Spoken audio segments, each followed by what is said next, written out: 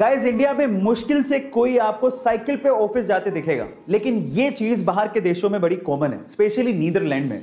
Guys Netherland में बहुत से लोग साइकिल पे ऑफ़िस जाना प्रेफर करते हैं। क्या उसके पीछे का रीजन जानते हैं? उसके पीछे का रीजन सुन के आप लोग हैरान रह जाओगे, क्योंकि वहाँ की कंपनियाँ अपने इंप्लॉइज को साइकिल पे ऑफ़िस आने के लिए एक्स्ट्रा पैसे देती है। जी हाँ गाइज़ वहाँ पर हर एक किलोमीटर साइकिल चलाने के लिए इंप्लॉइज को लगभग सोलह रुपए दिए जाते हैं। उसके पीछे का रीजन भी बहुत साफ़ है। पहला एनवायरमेंट की सेफ्टी दूसरा फ्यूल कंजप्शन को कम करना और तीसरा फिटनेस फ़िज़िकल फिटनेस गाइस क्या आपको भी लगता है कि ये आइडिया इंडिया में भी इंप्लीमेंट होना चाहिए? चैट सेक्शन में ज़रूर लिखेगा। ये घटना है 24 जून 1915 की, जब पहला विश्व युद्ध चल रहा था।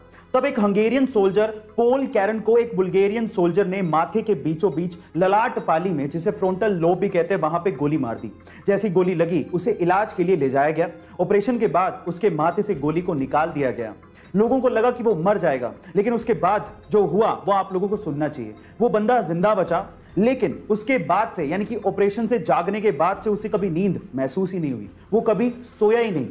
अब ऐसा क्यों हुआ, ये तो कोई नहीं जानता। लेकिन वो बंदा 1915 में जब ये इंसिडेंट हुआ उसके बाद लगभग तिरसठ सालों तक बिना सोए ज़िंदा रहा। उसकी मृत्यु 1978 में हुई और आज तक भी ये एक रहस्य है। गाइस इस रहस्यमय घटना के बारे में सुनने के बाद आपको कैसा महसूस हो रहा है चैट सेक्शन में ज़रूर लिखे गाइस ज़मीन के ऊपर इंसानों की बस्ती, ये तो एक कॉमन बात है, लेकिन क्या आपने कभी ज़मीन के नीचे पूरा का पूरा गाँव बसते देखा है? जी हाँ गाइस ऑस्ट्रेलिया में एक ऐसा गाँव है जो कि पूरा का पूरा ज़मीन के नीचे, यानी कि अंडरग्राउंड में है, जिसमें लगभग 3500 के करीब जनसंख्या है। और वहाँ पर आपको नॉर्मल घरों के अलावा लग्जरियस घर भी मिल जाएँगे, जिसके अंदर स्विमिंग पूल तक बना हुआ है।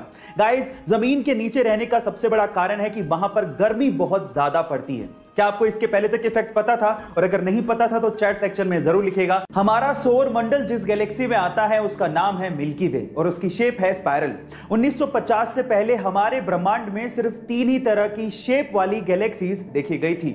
Elliptical spiral and irregular shape वाली गैलेक्सीज लेकिन 1950 में एक अमेरिकन एस्ट्रोनॉमर ऑथर हॉग ने एक मिस्टीरियस यानी कि रहस्यमय गैलेक्सी देखी। उस रहस्यमय गैलेक्सी की शेप एक्चुअली छल्ले नुमा यानी कि रिंग नुमा थी। इसलिए उसे रिंग गैलेक्सी कहा जाता था। बाद में इसका नाम हॉग्स ऑब्जेक्ट रख दिया गया। ना जाने कितने रहस्य हमारे ब्रह्मांड में छुपे हुए हैं। आपको ये इन्फॉर्मेशन जान के कैसा लगा? चैट सेक्शन में ज़रूर लिखेगा। भारत और चीन की जनसंख्या लगभग बराबर है। लेकिन क्या आपको पता है कि इंडिया में चाइना के मुकाबले ज़्यादा बेरोजगारी है? उसके पीछे का रीजन है यहाँ के लोगों की जॉब मेंटेलिटी आज भी यहाँ के लोग अपने बच्चों को जॉब मेंटेलिटी का ही बनाते हैं। मतलब पढ़ो, लिखो और जॉब के लिए ट्राई करो। लेकिन जब जॉब नहीं मिलती तो बेरोजगारी तो आनी है। लेकिन इसके विपरीत चाइना में बचपन से ही वहाँ के लोग अपने बच्चों को बिज़नेस मेंटेलिटी का बनाते हैं।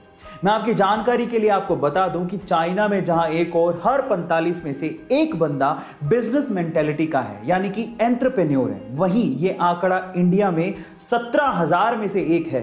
अब आप सोचिए कि जहाँ जॉब जनरेट ही नहीं होगी, वहाँ पर जॉब लगेंगी कैसे?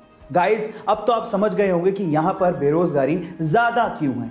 गाइज़ ऐसे अमेजिंग वीडियोस के लिए यूट्यूब पे हमारे चैनल को सब्सक्राइब कर लीजिए और अगर आप इंस्टाग्राम पे देख रहे हैं तो मुझे फॉलो करना मत भूलिएगा। मिलते अगली वीडियो में।